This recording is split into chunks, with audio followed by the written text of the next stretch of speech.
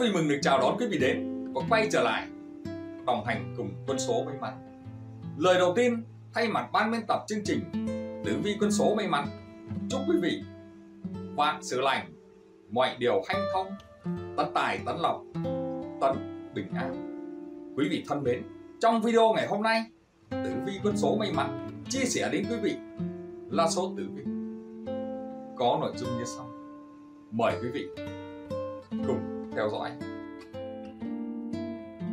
Tiên tri hé lộ, được hưởng lộc trời, tuổi kỷ mùi, sinh năm 1979, vận may ầm ầm, lộc về tới tấp, tiền bạc xếp chặt cửa nhà, đổi đời giàu có an nhàn hết phần đại gia. Vân Thư Tín chủ tuổi kỷ mùi sinh năm 1979. Thật hữu duyên khi ta lại gặp nhau trong chuyên mục không gian tâm linh này. Như chúng ta đã biết, tiên tri biết trước tương lai không phải là mong ước lớn nhất, nhưng là cái luôn luôn đi cùng với vận trình hưng suy của một con người, từ đông sang tây, cho đến từ cổ chí kim đều xuất hiện nhiều nhà tiên tri tử vi, đưa ra các điềm báo vô cùng chuẩn xác về hung cát trong tương lai khiến nhiều người không khỏi sửng sốt. Và khi nền kinh tế đang chững lại, nhiều người lâm vào cảnh khủng hoảng, tắc nối từ công việc đến gia đình đều gặp phải khó khăn, không biết làm sao mới giải quyết được, có người còn nợ nần chất đống, gánh nặng cơm áo gạo, tiền đè nặng lên vai khiến họ không thể thở nổi. Thế nhưng đó không phải là tuổi kỷ mùi 1979, giới tử vi hé lộ trong tháng 7 âm năm 2024.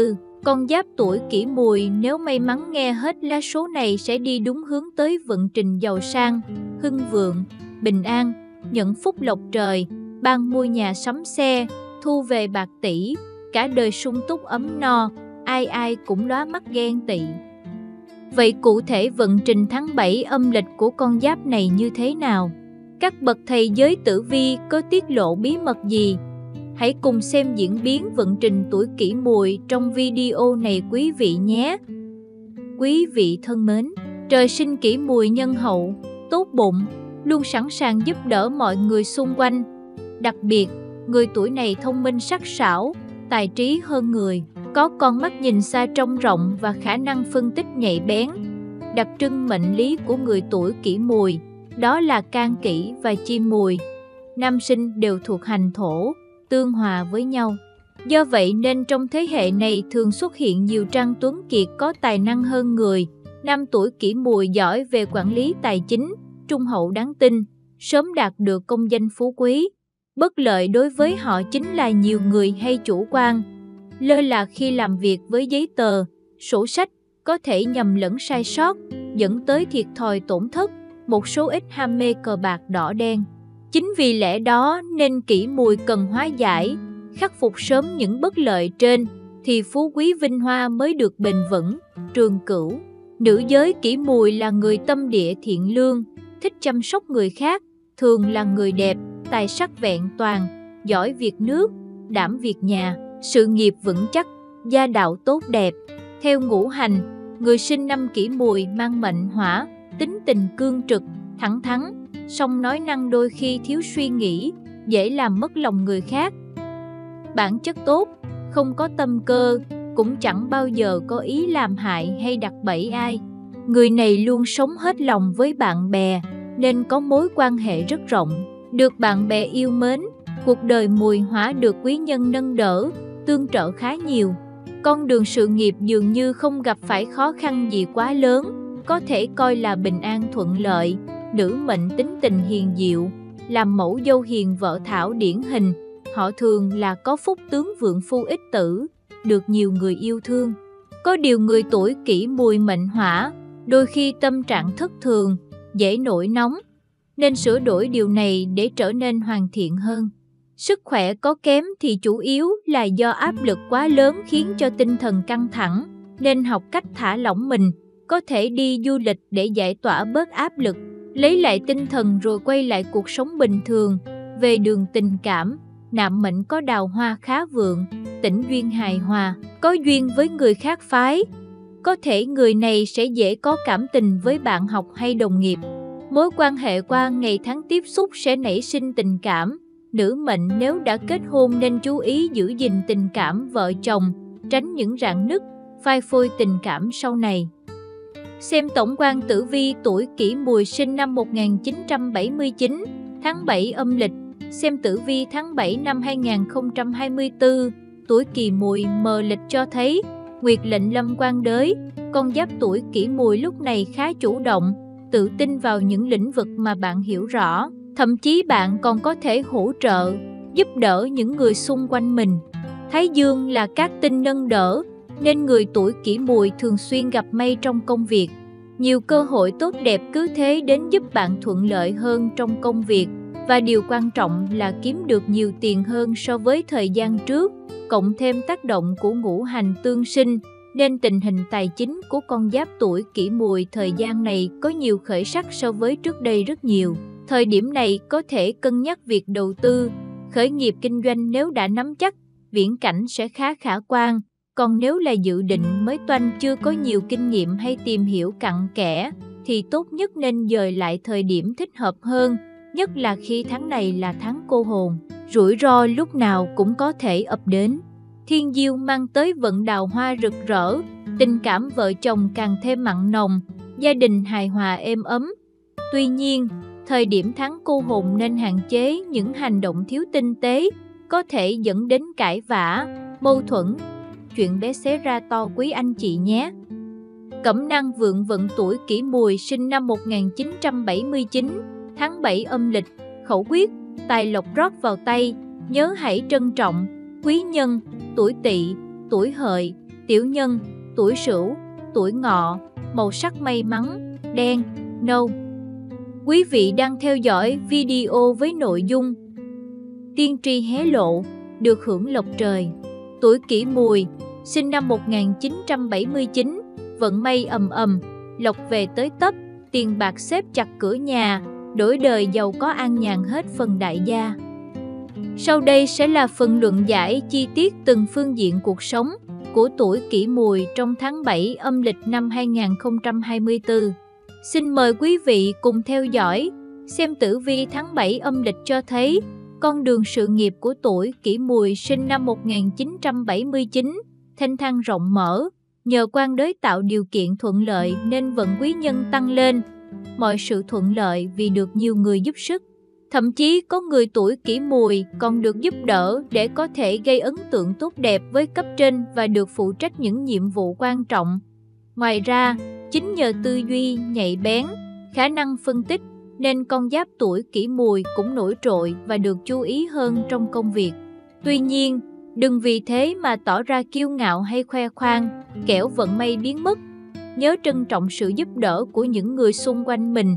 Chính ấn mang tới nhiều điều kiện tốt nhưng chính bạn sớm nhận ra mình càng ngày càng bận rộn hơn khi phải theo đuổi nhiều thứ trong cuộc sống. Thế nên, đừng quên thường xuyên đánh giá và tìm giải pháp cân bằng, phù hợp hơn cho mình Đặc biệt, thời điểm này kỷ mùi còn có cả sao tả phù và hữu bậc phù trợ. Khả năng cao giữa năm này bản mệnh sẽ có sự điều động về tiền lương, mức thưởng hoặc vị trí công tác. Đó đều là những phần thưởng xứng đáng cho thái độ làm việc nghiêm túc và trách nhiệm của con giáp này. Nhìn chung, khá nhiều cơ hội phát triển bày ra trước mắt, quan trọng là bạn có chấp đúng thời cơ và chủ động nắm bắt hay không. Tuy nhiên, Mặt bất lợi là tháng này có thiên cẩu hung tinh, là điềm báo có thể xuất hiện kẻ tiểu nhân ném đá dấu tay vì lòng đố kỵ. Đối phương sẽ tìm cách để phá hoại công sức bạn bỏ ra bấy lâu, cũng có thể tung ra những tin đồn thị phi phá hoại danh dự của những chú dê.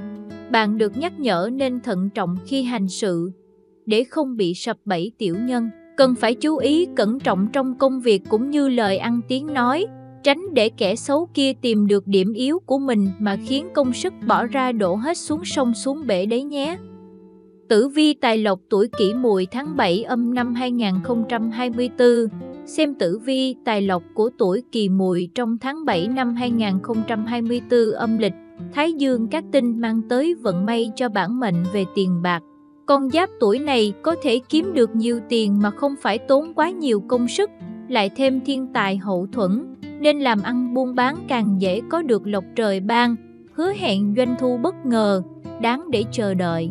Nguyệt lệnh lâm dưỡng vận, báo hiệu vận trình tài lộc của người tuổi này có xu hướng tăng dần chứ không phải giàu có ngay sau một đêm.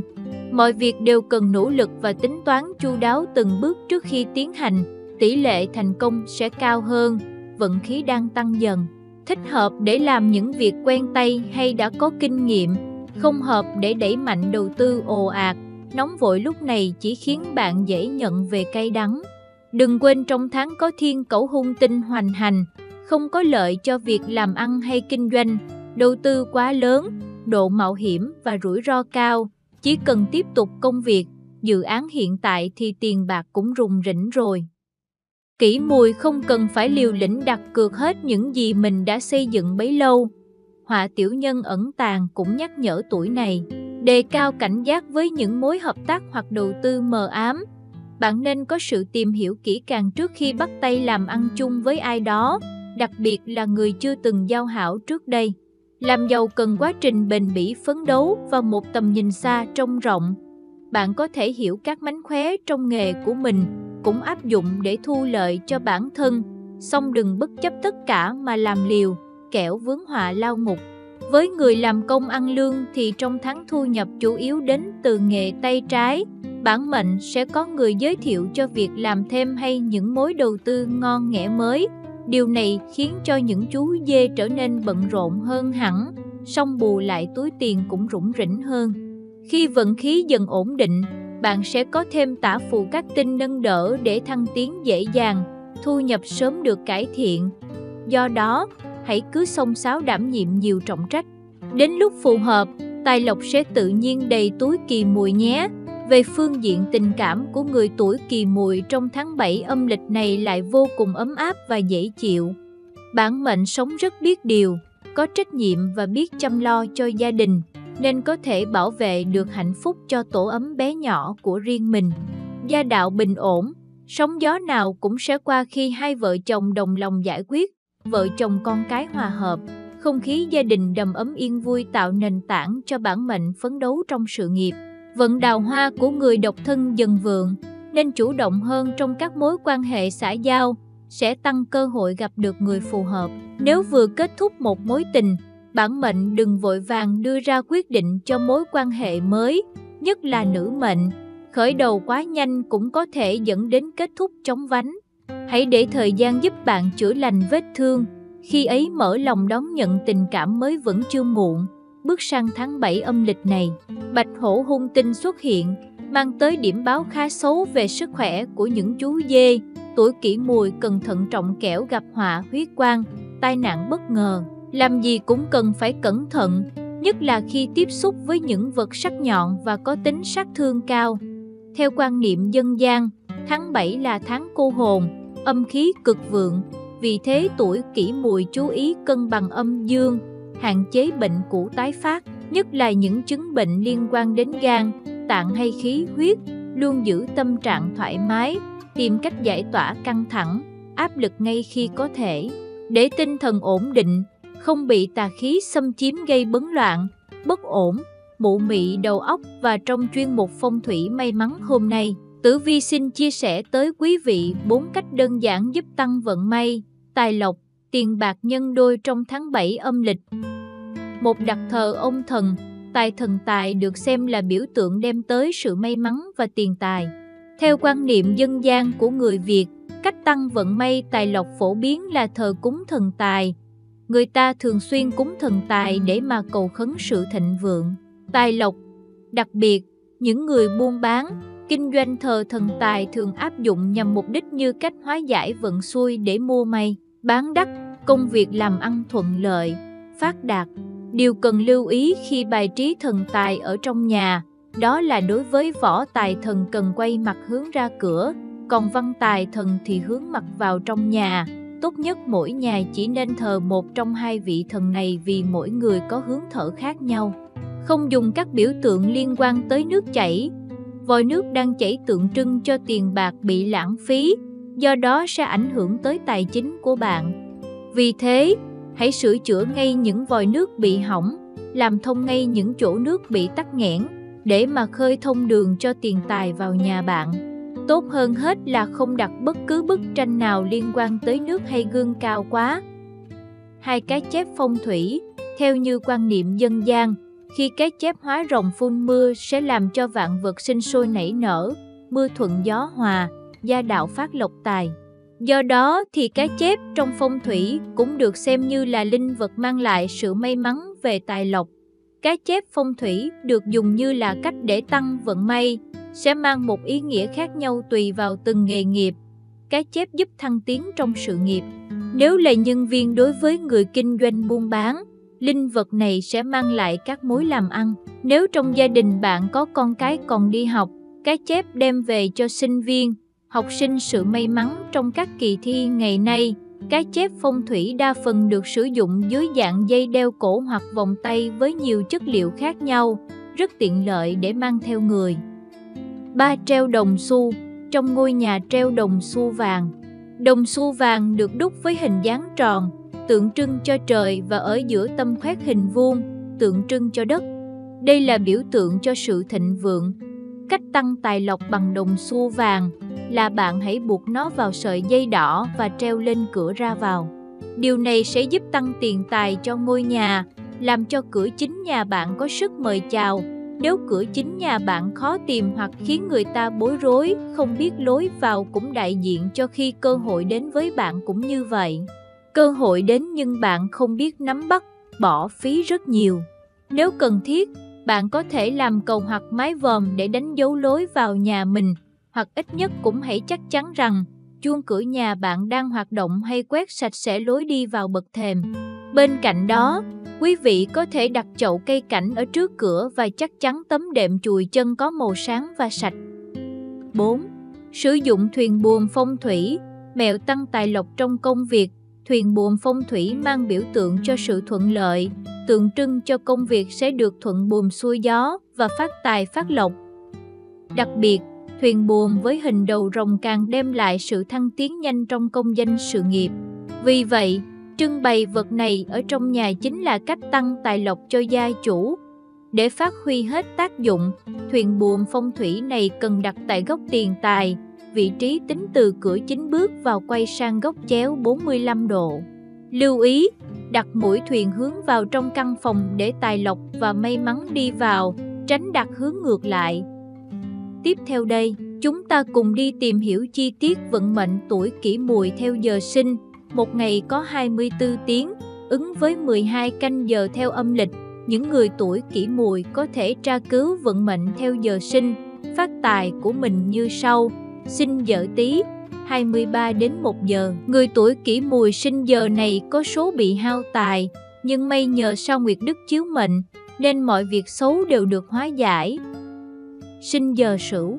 1 đến 3 giờ sinh ngày này là người có nếp sống khoa học, chỉnh chu, trong đời mọi việc đều diễn ra bình thường, đôi lúc cũng bị hao tài tốn của. Sinh giờ dần 3 đến 5 giờ, giờ này có sao tử vi chiếu mệnh, nên tuổi kỷ mùi có số may mắn, sự nghiệp tiến tới, tuy có lúc bị kiện tụng, nhưng cuối cùng cũng được giải cứu. Sinh giờ mão, 5 đến 7 giờ, người tuổi kỷ mùi sinh giờ này được sao thiên tướng chiếu mệnh, nên có thế lực mạnh, nhưng cần thận trọng và cố gắng hơn trong mọi sự sẽ được thành công. Sinh giờ thìn 7 đến 9 giờ, kỷ mùi sinh giờ này có sao tốt chiếu mệnh, nên nếu đi xa quê hương sẽ có số thuận lợi tốt đẹp. Sinh giờ tỵ 9 đến 11 giờ, giờ này có sao dịch mã chiếu mệnh, nên người tuổi mùi có số ly hương, phải đi Nam về Bắc để cầu danh lợi. Sinh giờ ngọ 11 đến 13 giờ, người tuổi kỷ mùi sinh vào giờ này cả đời vui vẻ, gia đình hạnh phúc, tuy có lúc mắc bệnh nhẹ nhưng cũng tai qua nạn khỏi. Sinh giờ mùi 13 đến 15 giờ. Người sinh giờ này có sao hoa cái chiếu mệnh, thường rất thông minh, tài năng đức độ. Tuy nhiên, do phạm phải sao thái tuế, nên thường hay bị chóng mặt, đau đầu, sinh dở thân 15 đến 17 giờ. Nhờ có sao thái dương cao chiếu, nên người sinh giờ này tuy có số cô đơn nhưng mọi việc đều thuận lợi, mưu sự tất thành, niềm vui nối tiếp. Sinh giờ dậu 17 đến 19 giờ là người không may mắn, có số lao đao, khốn khổ, nên đề phòng oan khiên, kiện tụng, cãi cọ rắc rối, sinh giờ tuất, 19 đến 21 giờ người sinh giờ này bị sao cầu rào chiếu mệnh, nên thường gặp bất lợi trong hôn nhân. Sinh giờ hợi, 21 đến 23 giờ là người trong đời bị tiểu nhân quấy phá, cãi cọ liên miên. Tuy nhiên, do được sao quan phù chiếu mệnh, nên nếu có địa vị tốt, mọi việc sẽ được hóa giải. Kính thưa quý vị, cuộc đời của mỗi con người là một chặng đường phấn đấu không ngừng nghỉ.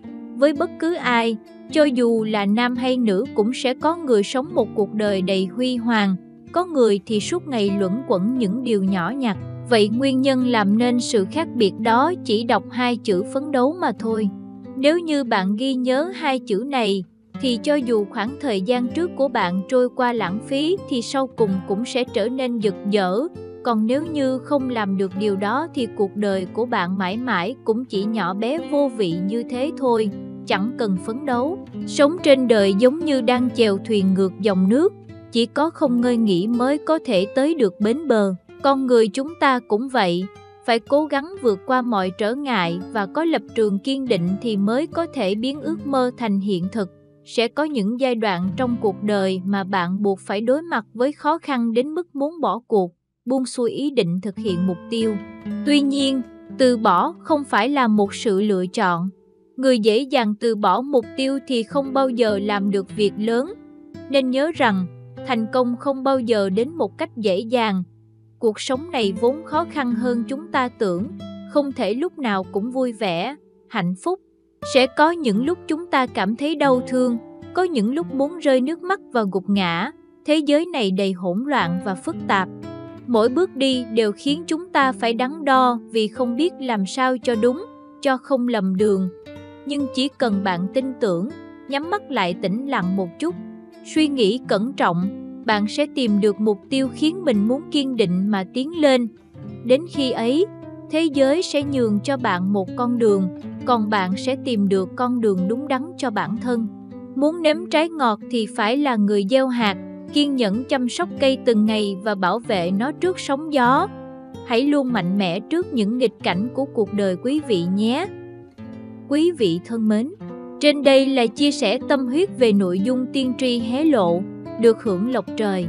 Tuổi kỷ mùi, sinh năm 1979, vận may ầm ầm, lộc về tới tấp, tiền bạc xếp chặt cửa nhà, đổi đời giàu có an nhàn hết phần đại gia, từ đội ngũ biên tập chương trình. Trong quá trình truyền đạt video, đội ngũ biên tập không thể tránh khỏi những thiếu sót. Mong quý vị thông cảm và đồng hành đóng góp ý kiến dưới phần bình luận.